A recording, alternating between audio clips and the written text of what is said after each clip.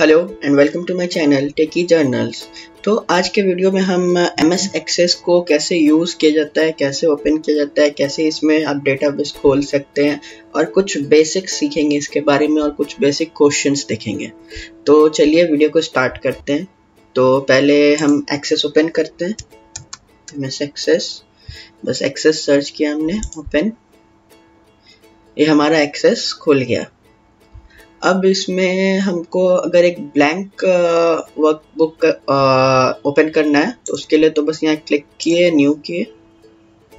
ये database create तो ये एक ब्लैंक डेटाबेस हो गया। इसमें आपको पूरा अपने से फिर इंटर करके इसको फिल करना होगा, जो भी डेटा आपको डालना है।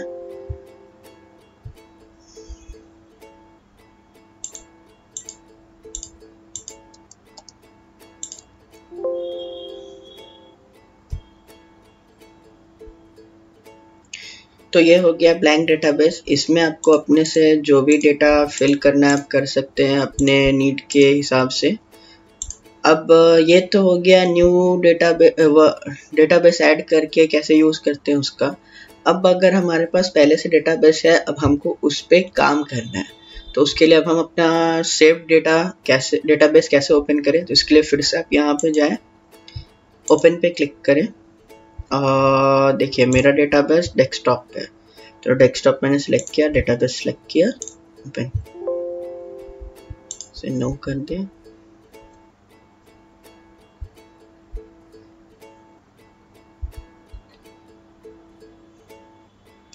अब certain content in database has been disabled तो इसे सबसे पहले हमें इनेबल करना होगा। तो ऑप्शन पे क्लिक करें। यहाँ इनेबल दिस कंटेंट करें और ओके okay कर दें। तो मेरा डेटाबेस खुल गया। यहाँ पे आप दो बार क्लिक करें तो देखिए ये एक डेटाबेस है और एक ये डेटाबेस है। ठीक है? अब हमको, हमें इस डेटाबेस पे काम करना है। तो चलिए कुछ इजी सिंपल से क्वेश्चंस सॉल्व करते हैं। ठीक है? जैसे कि ये पहला क्वेश्चन है display the bill details of the items sold by H O हमारा डेटाबेस में आपने नोटिस किया होगा, नहीं किया तो देख लीजिए। सेल्स पर्सन देखिए, ये एच ओ है, ठीक है? तो यहाँ क्वेश्चन है कि display the bill details of the item sold by H तो हमें क्या करना है? एच के द्वारा जो भी प्रोडक्ट सोल्ड हुए हैं, उसके सिर्फ़ उसी के डिटेल्स हमें शो करना है। तो चलिए, हम क्वेरी लिख के मैं आपको दिखाता हूँ। तो इसके लिए आपको क्रिएट पे क्लिक करना होगा और यहाँ पे ये क्वेरी डिज़ाइन जो है, इस पर क्लिक करें और इसको क्लोज करते हैं। अब ये एसक्यूएल व्यू पे क्लिक करें, ये एसक्यूएल व्यू पे क्लिक करें। यहाँ पे क्वेरी कैसे लिखते हैं? तो सबसे पहले हमें सेलेक्ट लिखना होता है। उसके बाद यहाँ पे कुछ स्पेसिफिक नहीं दिया है कि हमें product name price sale person इस टाइप का कुछ स्पेसिफिक नहीं दिया है कि हमें वो सिलेक्ट करना है। तो हम वो नहीं करके, इसने बस बोला है कि जितने भी डिटेल्स हैं, वो शो करने जो सिर्फ़ एच ओ के द्वारा सोल्ड है। तो हम यहाँ पे लिखेंगे स्टार तो ये स्टार हम डालते हैं सारे डेटा को सिलेक्ट करने के लिए। अब हमें किस फ़ाइल से सिलेक्ट करना है? तो हमारा डेटा ये प्रोडक्ट सोल्ड पे है। तो हमें यहाँ पे सिलेक्ट स्टार उसके बाद फ्रॉम लिखना है। फ्रॉम मतलब अब हम लिखेंगे कहाँ से हमें सेलेक्ट करना है डेटा उसके बाद प्रोडक्ट सोल्ड में हमारा डेटा है तो यहाँ लिखेंगे प्रोडक्ट सोल्ड अब इसके बाद हमें कंडीशन बताना हमारा कंडीशन क्या था कि जो भी सेल हुआ है एचओ के द्वारा। तो हमारा sales person name H O है। तो यहाँ पे बस कुछ नहीं करना, बस लिखना है where sales person equal to और इसे ब्रैकेट में डाल दें एच ओ ब्रैकेट बंद करें, और ये रन पे क्लिक करें। ये देखिए, सिर्फ़ एच ओ के द्वारा जितने भी सेल्स हैं, सब यहाँ आ गया। तो ये बहुत सिंपल सा है। चलिए एक और क्वेश्चन देखते हैं। ये भी सिंपल सही ही डिस्प्ले द प्रोडक्ट नेम देखिए, यहाँ पे अब स्पेसिफिक दे रहा है हमें प्रोडक्ट नेम प्राइस और सेल्स पर्सन ही सिलेक्ट करना है। तो हम यहाँ पे स्टार नहीं देंगे। Of those products whose colour is not black other than pencil तो इसमें हमें उन प्रोडक्ट्स का डिटेल्स देना है जिनका कलर ब्लैक नहीं है और पेंसिल्स नहीं है। तो आइए स्टार्ट करते हैं। तो इसे क्लोज कर दे या आप चाहें तो इसे सेव भी कर सकते हैं। इसे सेव यहाँ पे सेव करके कर सकते हैं। आप चाहें तो इसे ना, कुछ भी नाम दे सकते हैं। मान लीजिए मैंने क्वेश्चन वन लिख दिया। ओके कर दे। ये यहाँ सेव हो गया। आप जब भी चाहें, जैसे इसे मान लीजिए जब हमने क्लोज किया तो आप जब भी चाहें इस पर चेक कर सकते हैं। जो भी आपने क्वेरी लगाया था, यहाँ पे क्लिक करें। ये देखिए, आपका रिज़ल्ट है और आपको देखना है आपने क्वेरी लिखा क्या था तो यहाँ पे राइट क्लिक करें और एसक्यूएल व्यू पे जाए। ये आपका लिखा हुआ क्वेरी है। तो चलिए, अब हम नेक्स्ट क्वेरी लिखते हैं। तो फिर क्रिएट पे जाना है।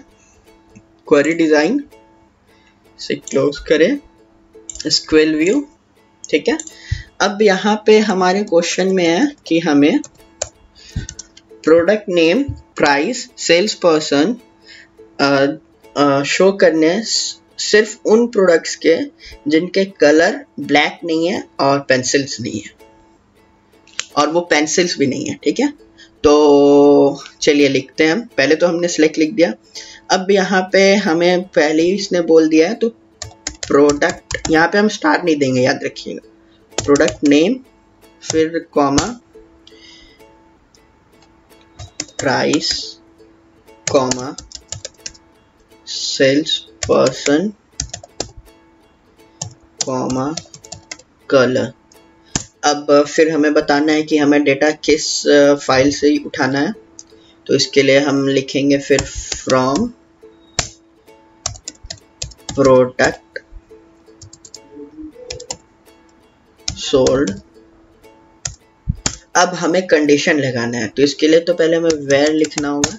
इसके बाद हमारा कंडीशन पहला क्या है कि कलर ब्लैक नहीं होना चाहिए। तो उसके लिए कलर और नॉट इक्वल टू के लिए यहाँ पे ये साइन यूज़ करते हैं। फिर inverted comma black inverted comma बंद अब हमें आ रहा एक और क्या कंडीशन है कि प्रोडक्ट नेम पेंसिल्स भी नहीं होने चाहिए। तो फिर यहाँ एंड लगाया हमने। फिर प्रोडक्ट नेम फिर नॉट इक्वल टू के लिए हमने यूज़ किया, फिर इन्वर्टेड कॉमा और यहाँ पेंसिल्स इन्वर्टेड कॉमा बंद। अब बस इसे रन कर दें। तो ये देखिए प्रोडक्ट नेम में कहीं आपको पेंसिल्स नहीं दिख रहे होंगे और कलर में कहीं ब्लैक नहीं है। ठीक है? तो ये हो गया एक और क्वेश्चन सॉल्व इसे भी मान लिए, हमने सेव कर लिया। क्वेश्चन टू आइए एक और सिंपल क्वेश्चन सॉल्व करते हैं। अब इसमें है display the bill details of sales person Gill मतलब हमारा एक सेल्स पर्सन है गिल उसके बिल डिटेल्स दिखाने हैं। आ, सिर्फ़ उन डिटेल्स के बारे में दिखाने हैं जिसमें उसने थर्टी से ज़्यादा आइटम्स सोल्ड किया है। एंड जोन्स के बारे में भी दिखाने हैं जिसमें उसने ट्वेंटी आइटम से कम सोल्ड किया है। तो आइए लिखते हैं, फिर से क्वेरी हम। फिर से हमें क्रिएट क्वेरी डिज़ाइन क्लोज करें स्क्वेयर क्लिक करें। अब इसमें हमें क्या क्या दिखाने बोला है? इसमें इसने फिर से स्पेसिफाई नहीं किया कि हमें product name price sales person क्या क्या लेना है। तो हम इसके लिए डायरेक्ट स्टार लेंगे। इसका मतलब है कि वो सारे चीज़ों को शो करेगा। अब हम यहीं पे लिखेंगे फ्रॉम कहाँ से सिलेक्ट करना है? तो प्रोडक्ट सोल्ड ठीक है? अब यहाँ पे हमें कंडीशन बताना है।